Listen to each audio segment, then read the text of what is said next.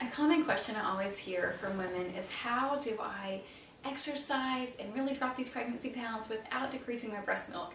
I actually remember struggling with the same thing and so here are a few tips that worked for me and I think that work for you too.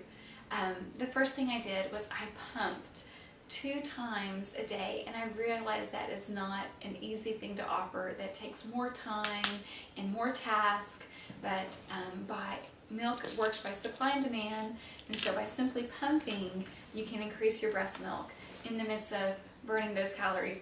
Another thing I did was really increase my water intake. Um, I try to have a certain amount of ounces each day for just healthy living but I really I doubled that knowing that I'm working out don't want to decrease that breast milk and so increasing how much water you have that will do that um, another thing I did was decrease caffeine which was kind of a hard thing for me because two of my babies were born in the cold months one in January one in February and I love starting my day with um, a hot cup of coffee or hot cup of tea and so it was hard for me but I decided to do away with that just just so um, I would gain some traction with that I had enough milk supply for my little one before inviting that into my morning.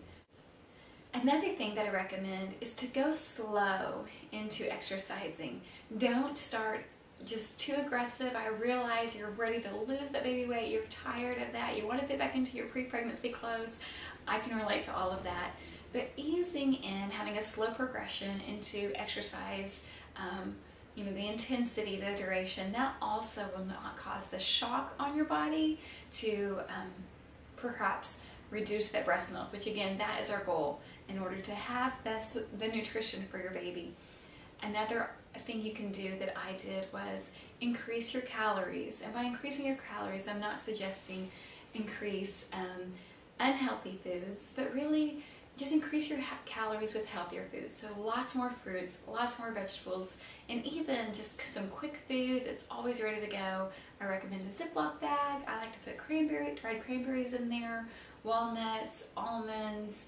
Um, that's just nice to keep even in my purse. And so when I'm in the car and I forgot to eat and I'm feeling ravenous, it's some nice healthy fats um, that won't stick to your hips, but also increase that, that milk supply in the as you're aiming to lose it so or lose that baby weight um, I hope all of those tips help and um, in the mind of working out with um, your breast full of milk I want to share a tip that I did is I did pump before I worked out. That was more comfortable for me and my body.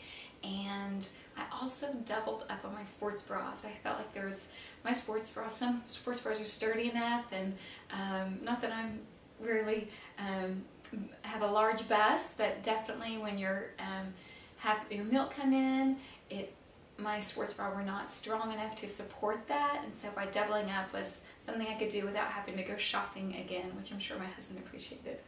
So hope these things help you as they help me, and you share your success stories of losing that pregnancy weight without losing your breast milk. Thank you.